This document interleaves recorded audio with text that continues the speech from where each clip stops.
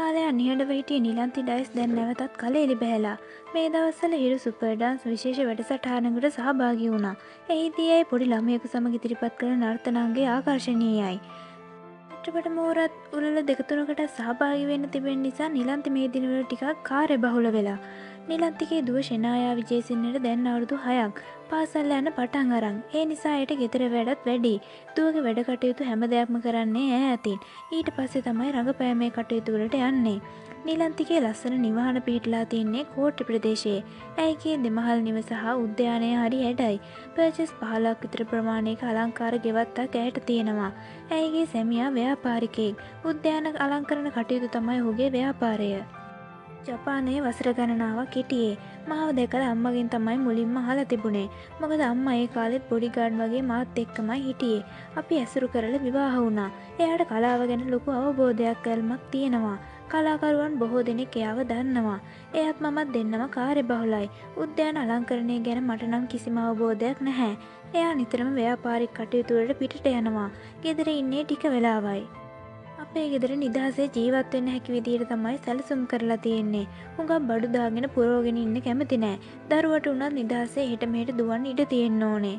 එක බඩු හුඟක් තියද්දී ඔළුවට හරි බරක්. සැමිය උද්‍යයන අලංකරන ශිල්පිය නිසා ගාඩන එකත් ලස්සන්ට සැලසුම් කලා මම උදෙම ගෙදර වැඩ බාගේ වැඩ ඉවර කරලා තමයි ෂූටින් යන්නේ සමහර වැඩ සටහන් වලට තනීම යන්න වෙද්දී මම අම්ම ළඟ තමයි දරුව තියලා යන්නේ දැන් දුව ටිකක් ලොකු නිසා ටික ටික වැඩ බාරගන්න පුළුවන් ඒත් ගෙදර වැඩ වැඩි දරුවගේ වැඩයි කලාවයි සමතුලිතව කරගෙන යනවා මුණත් හුඟක් කාර්ය බහුල වෙලා ගොඩක් දේවල් කරන්න මම කැමති නැහැ.